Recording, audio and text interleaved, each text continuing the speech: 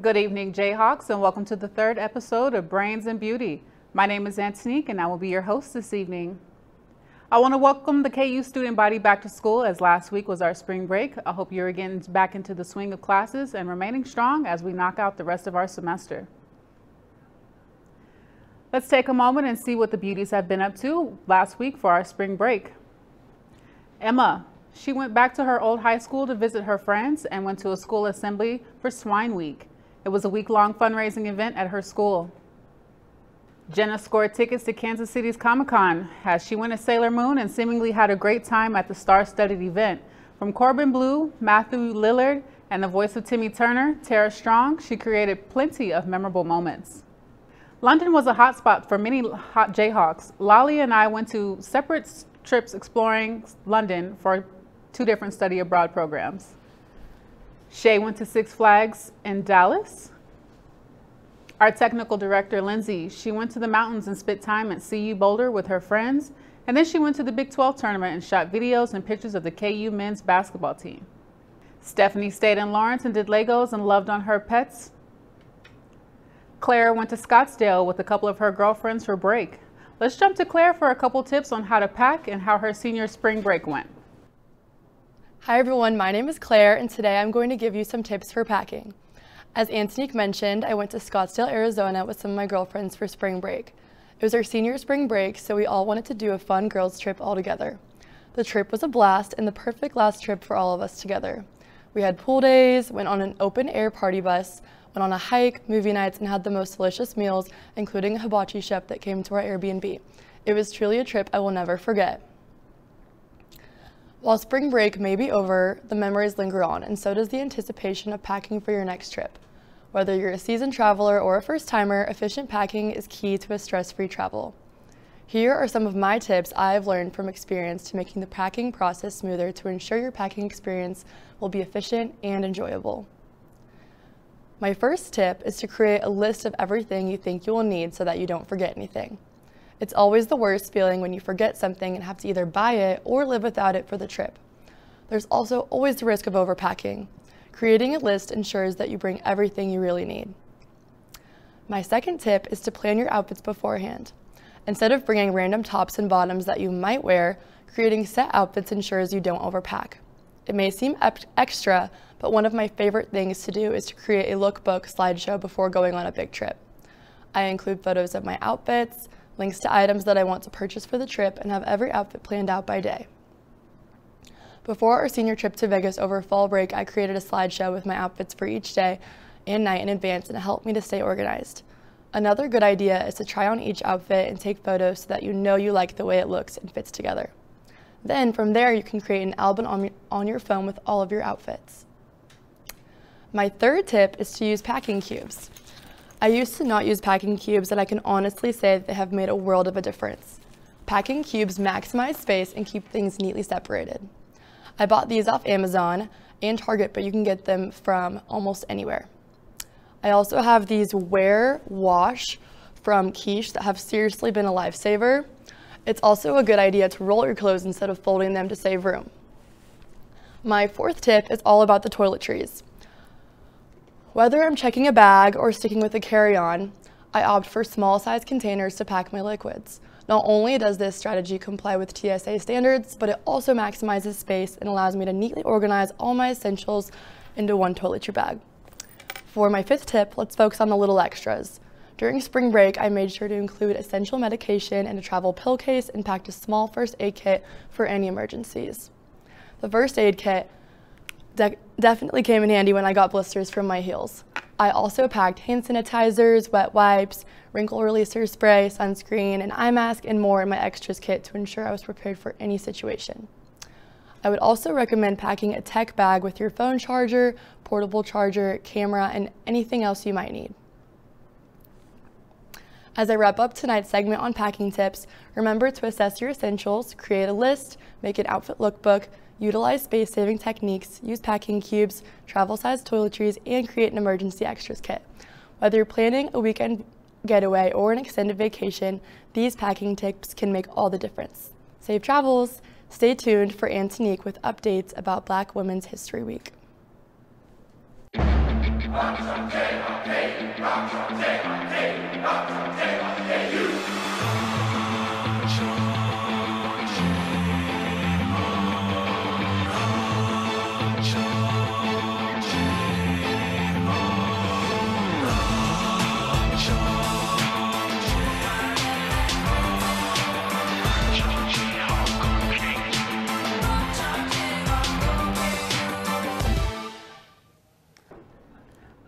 Haven't had a show in a few weeks, so I wanted to take a moment to fill you in on what we missed. The last week of Black History Month was Women's History Week. The Emily Taylor Center for Women and Gender Equity held several events to celebrate the women here at KU, their blackness, and their womanhood, womanhood here in Lawrence. From a webinar focused on mental health awareness to Black Roses Soiree, KU embraced and showed out for the support for the black woman here on this campus. With that being said, the Oscars was last Sunday. Stephanie got a list together of her favorite looks of the night. Hello, my name is Stephanie Reif, and today I'm going to be talking about the 96th Academy Awards, aka the Oscars, which took place last Sunday, March 13th. There was a lot of good fashion this year, so we can't talk about everything that was there. So instead, we'll be focusing on my top five looks of the night in no particular order. Starting off with the wonderful America Ferrera, she was wearing a gorgeous pink Versace gown, and I love how this complements her skin tone. She was seen mostly wearing black during the Barbie press tour, so I'm very glad to finally see her in some pink for her Best Supporting Actress nomination for her role in Greta Gerwig's Barbie. Next, we have Anya Taylor-Joy, who is wearing one of my favorite outfits of the night, this stunning dress by Dior Couture. I feel like Joy always looks amazing, but she really stood out tonight to me when compared to other red carpet looks. This dress's detail is stunning, and I don't think I've seen her ever look better. Next, Billie Eilish was wearing Chanel, and I will say this about everybody, but she looks absolutely gorgeous. Eilish also took home her second Oscar last Sunday for Best Original Song for What Was I Made For, which was featured in Greta Gerwig's Barbie. She also performed her song at the show, and to say it was an emotional performance would be an understatement. Next on our list, we have Emma Stone, who is wearing Louis Vuitton, and I love this dress so much. The shape and the color of this dress is so flattering on her, and I literally have no notes. Stone did have a wardrobe malfunction during the show, though, as she revealed when she won her second Best Actress Oscar for her role in the 2023 film Poor Things that her dress was in fact broken. Now, if you did not watch the show or see clips of it afterwards, you might be wondering, how did she break her dress? Or break her dress, sorry.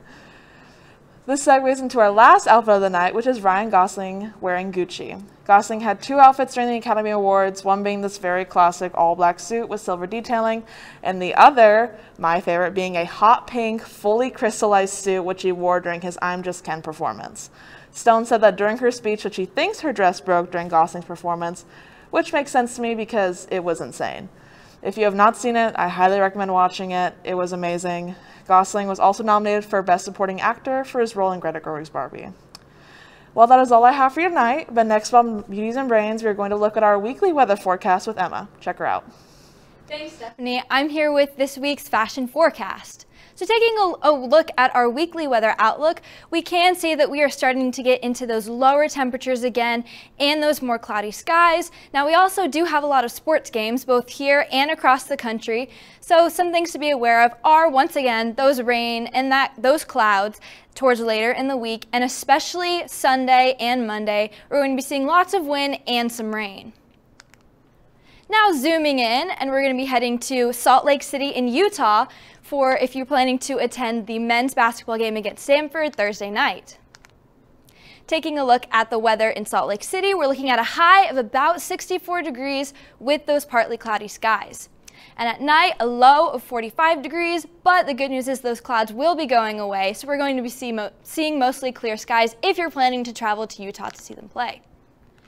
The women are also planning to travel for their game, where they will be playing in Los Angeles, California, their high is going to be 65, so pretty similar to Utah, and they are playing Saturday afternoon, so we are going to be seeing some showers earlier in the day and then partly cloudy skies as the day goes on.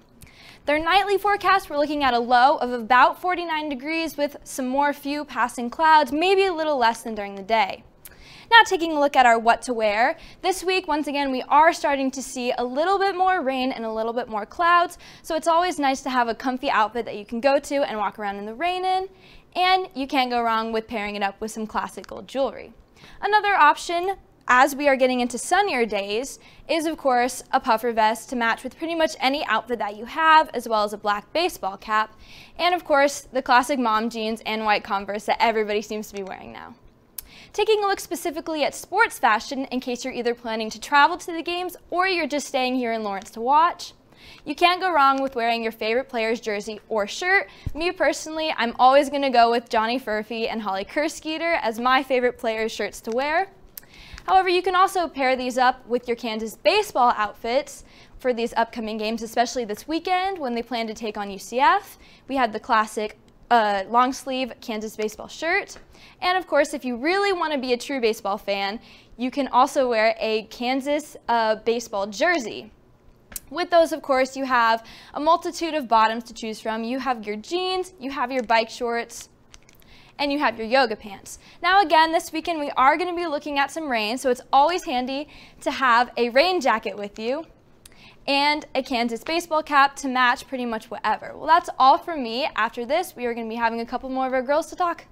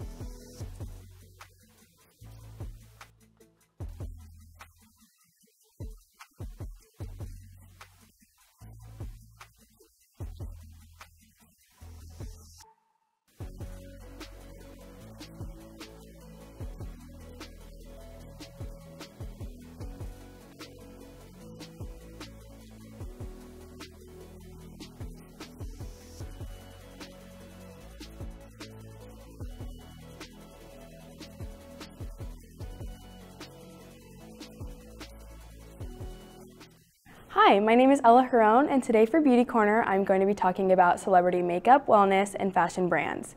Starting out strong with Skims by Kim Kardashian, I'm a huge fan of this shapewear and clothing brand. Co-founded by Emma and Jens Grede, Skims was launched in 2019 and encourages inclusive sizing, body positivity, and comfortable materials.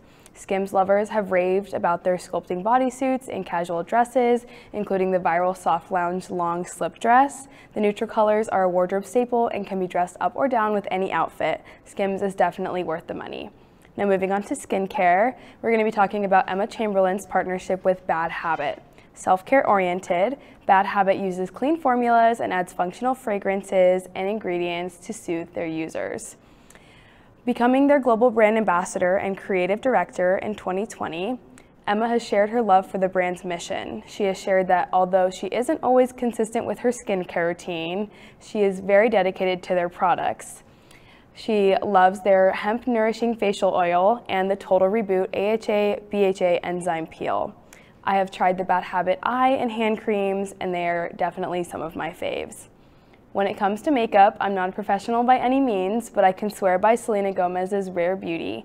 Selena created the brand to challenge beauty norms by shaping positive conversations about self-acceptance and mental health. I have used the Rare Beauty blush and concealer for years, and they have become a staple in my makeup routine. Not only are they vegan and cruelty-free, but 1% of their annual sales go to the Rare Impact Fund that expands mental health services in underserved communities. You can get a lot out of your makeup and know that your money is going to a good place. Finally, going back to fashion, one of my personal favorites is Tyler the Creator's Golf Le Fleur brand. Golf includes high-end apparel, footwear, accessories, and even dazzling nail polish colors. Golf is, as they say, a whimsical world that reflects the ideas of curiosity, color, harmony, and opulence. Even if you aren't interested in high or street fashion, there is something everyone will like from Tyler the Creator's brand, if you're willing to splurge. Now we're going to Lolly with Color Me Mine. Hi guys! So I know that I talked about accessories last week, but honestly, I'm gonna talk about them again. I just can't get enough.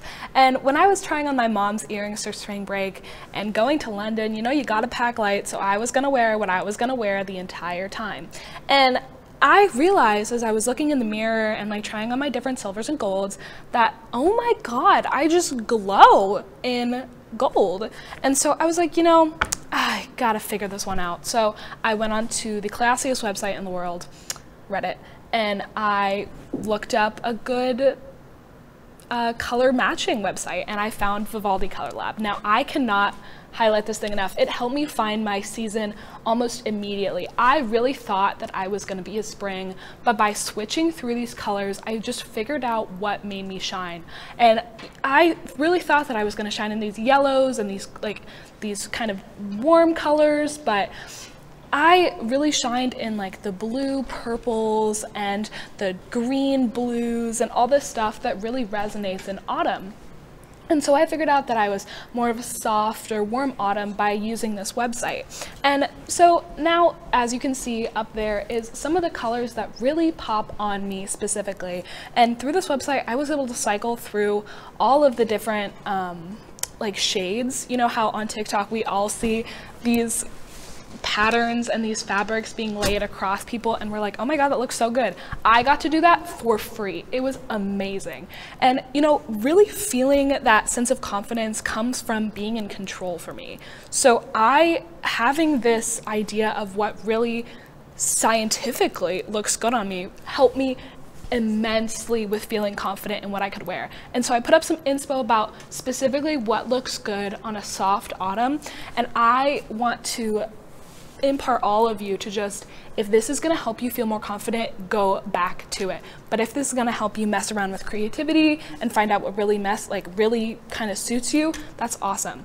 Thank you guys for listening and I'm gonna throw it back to Antonique. Alrighty, thank you, Lolly. Uh, that is all for this week's show for Brains and Beauties. Until next time, stay classy, KU.